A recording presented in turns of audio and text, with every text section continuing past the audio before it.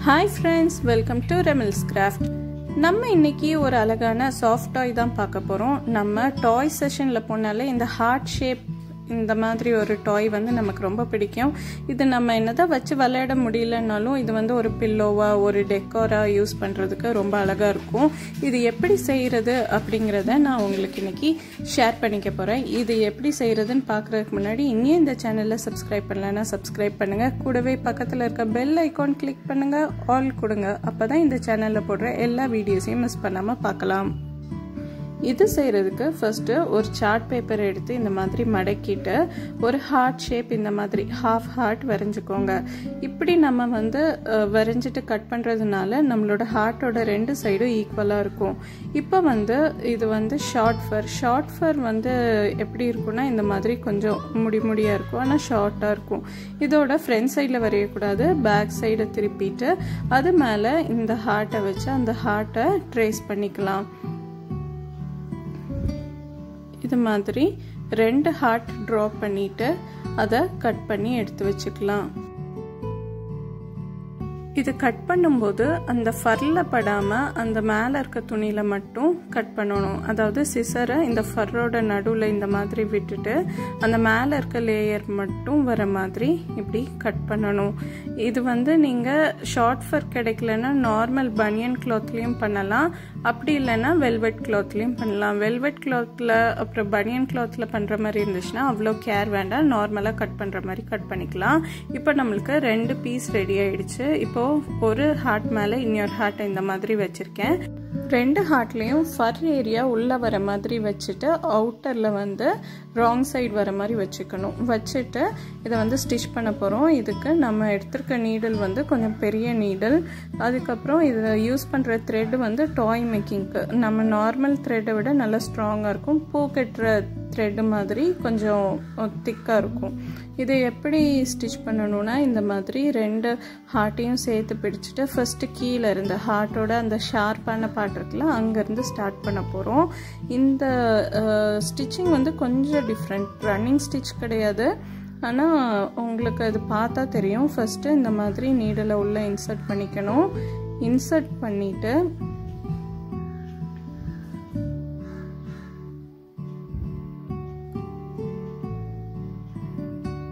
அடுத்தது சும்மா running stitch மாதிரி இந்த சைடு எடுக்கணும். ஆனால் திருப்பி என்ன பண்ணணும்னா நம்ம ஸ்டார்ட் பண்ண பாயிண்டில் வந்து நீடில் இன்சர்ட் பண்ணணும்.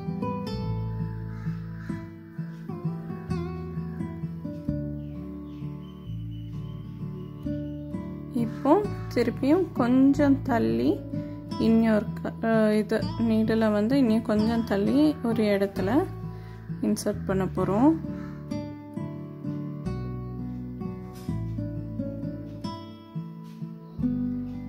அதுக்கப்புறம் இதுக்கு முன்னாடி நம்ம குத்தணும்ல அதே இடத்துல. அதாவது ஸ்டார்டிங்கில் இந்த இடத்துல இந்த மாதிரி இது பண்ணி எடுக்கணும். இது தைச்சு முடிச்சுட்டு பார்த்தீங்கன்னா ஒரு சைடில் வந்து நம்ம மிஷினில் ஸ்டிச் பண்ண மாதிரி இருக்கும். இன்னொரு சைடு வந்து கொஞ்சம் இம்பர்ஃபெக்டாக இருக்கும். அவ்வளோதான் இந்த ஸ்டிச்சு இது இன்னும் ஒரு ரெண்டு டைம் போட்டு காட்டுறேன். பார்த்தீங்கன்னா இன்னும் உங்களுக்கு ஈஸியாக இருக்கும். நான் இது வந்து நார்மல் ஸ்பீடில் தான் வச்சுருக்கேன். உங்களுக்கு கிளியராக இருக்கணுங்கிறதுக்காக. நம்ம வந்து ஸ்டிச் பண்ணுறதுக்கு முன்னாடி அந்த எட்ஜஸில் இருக்க ஃபர்ரெல்லாம் உள்ளே தள்ளி விட்டு தள்ளி விட்டு இதை வந்து பண்ணணும். ஜூம் பண்ணியிருக்கேன். தெரியும்னு நினைக்கிறேன். இந்த மாதிரி இன்சர்ட் பண்ணிவிட்டு நம்ம இதுக்கு முன்னாடி குத்தின இடத்துல இந்த மாதிரி இது பண்ணி விடணும். ஸோ இந்த சைட் பார்த்தீங்கன்னா மிஷின் ஸ்டிச் மாதிரி இருக்கும். பேக் சைடில் பார்த்தீங்கன்னா இந்த மாதிரி கொஞ்சம் இம்பர்ஃபெக்டாக இருக்க மாதிரி இருக்கும். இது வந்து ஈஸியாக பிரிஞ்சு வராது. அதுக்காக தான் இந்த ஸ்டிச் போடுறது. உங்களுக்கு இது தெரியலன்னா நார்மல் ஸ்டிச்சே போட்டுக்கலாம். இப்போ நான் வந்து இப்படி இது பண்ணி வச்சுருக்கேன். இப்போ ஃபுல்லாக க்ளோஸ் பண்ணலை. பாதி அதாவது கொஞ்சம் கேப் விட்டுட்டு நான் இந்த மாதிரி ஒரு ஃபினிஷிங் ஸ்டிச் போடுறேன். நாட் போட்டு அதை வந்து கம்ப்ளீட் பண்ணுறேன்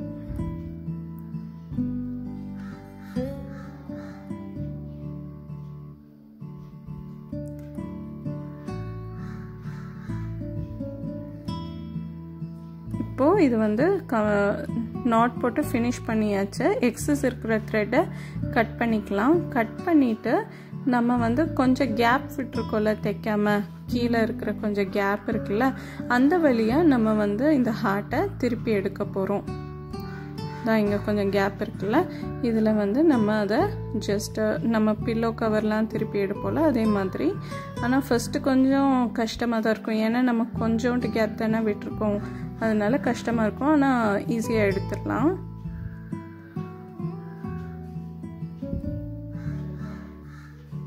இந்த மாதிரி ஹார்ட்டை திருப்பி எடுத்துக்கலாம்.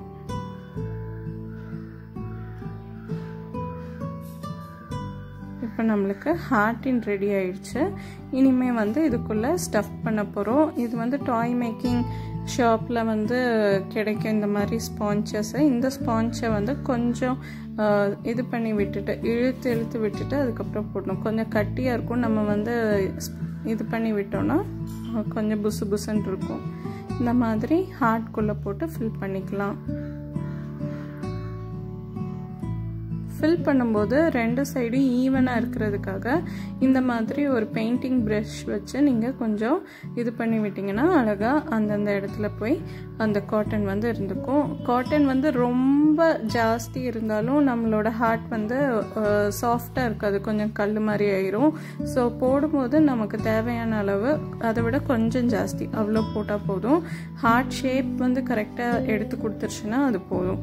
இப்போ நம்ம வந்து இந்த காட்டன்லாம் போட்டு முடிச்சாச்சு. போட்டு முடிச்சதுக்கப்புறம் நமக்கு கொஞ்சம் ஓப்பனிங் இருக்குல்ல இதை வந்து நம்ம என்ன பண்ண போகிறோம்னா நீடில் அண்ட் த்ரெட் வச்சு க்ளோஸ் பண்ண போகிறோம் இந்த ஓப்பனிங் என்ன நம்மக்கிட்ட இருக்கிற நீடில் வச்சு க்ளோஸ் பண்ணிக்கலாம். ஜஸ்ட் ரன்னிங் ஸ்டிச் மாதிரி இல்லை இது ஒரு சும்மா நார்மலாக அதை வந்து க்ளோஸ் பண்ணுறதுக்காக போடுறது. இந்த மாதிரி ரவுண்ட் பண்ணி ரவுண்ட் பண்ணி. இந்த மாதிரி சிம்பிளாக போட்டுட்டு லாஸ்டில் நாட் போட்டு ஃபினிஷ் பண்ணிடலாம்.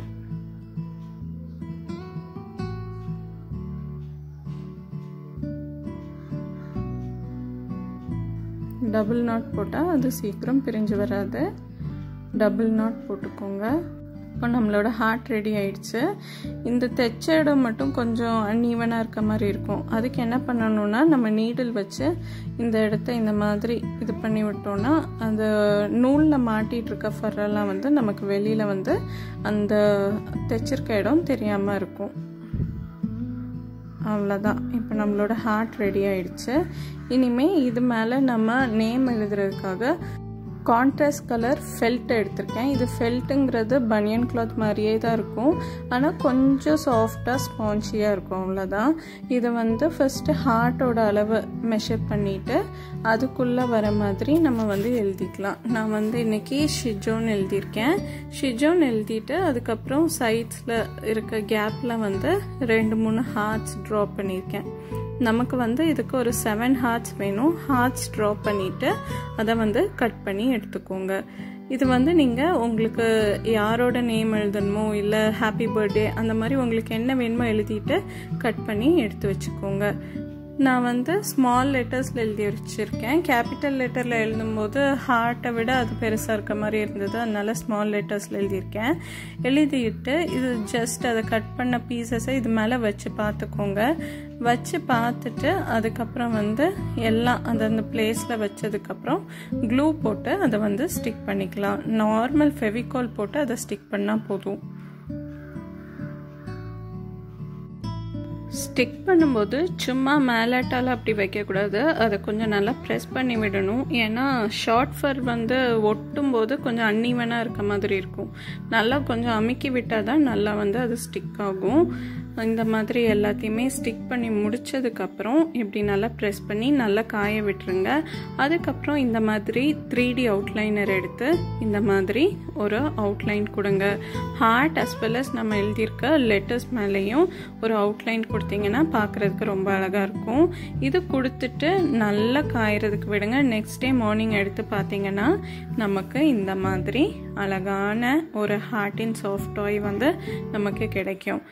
இது வந்து சோஃபாவில் டெக்கரேட்டிவ் பில்லோவா அதுக்கப்புறம் காருக்கு பின்னாடி வந்து டெக்கரேட்டிவ் டாயாக வைக்கலாம். இதில் நம்ம வந்து நேம் எழுதியிருக்கிறதுனால இன்னும் கொஞ்சம் அட்ராக்டிவாக அழகாக இருக்குது கண்டிப்பாக இந்த கிராஃப்ட் உங்களுக்கு பிடிச்சிருக்குன்னு நம்புகிறேன் இந்த கிராஃப்ட் உங்களுக்கு பிடிச்சிருந்ததுன்னா மறக்காமல் லைக் பண்ணுங்கள் உங்கள் ஃப்ரெண்ட்ஸோட இந்த வீடியோவை ஷேர் பண்ணுங்கள் இன்னும் இந்த சேனலை சப்ஸ்கிரைப் பண்ணாமல் இருந்தீங்கன்னா மறக்காமல் சப்ஸ்கிரைப் பண்ணுங்கள் தேங்க்ஸ் ஃபார் வாட்சிங்